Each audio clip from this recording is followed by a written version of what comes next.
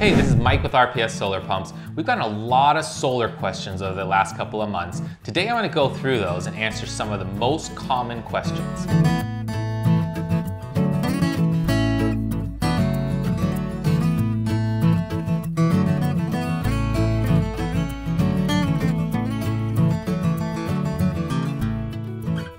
Today's question is, what happens when it's cloudy outside and will I still have access to water with a solar pump? And the answer is yes, you will. So we have a couple of different options to have access to water when it's cloudy.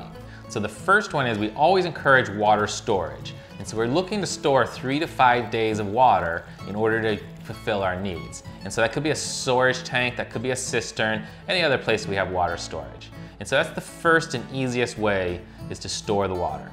The second way is a majority of our systems have battery backup. And so we can add that battery bank on and power and charge that when we have a lot of extra sunlight and use that either at nighttime or when it's cloudy to pump water if the storage isn't a feasible option. The third is we also have AC input into a majority of our systems. Um, some have that directly and some use the converter to convert the AC to DC so we can power our pumps and get you water when it's cloudy outside.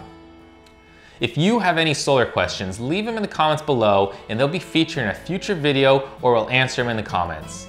Be sure to like and subscribe. We're producing new content every week, so hit that notification button and subscribe to the videos to stay up to date on the latest solar pumping news.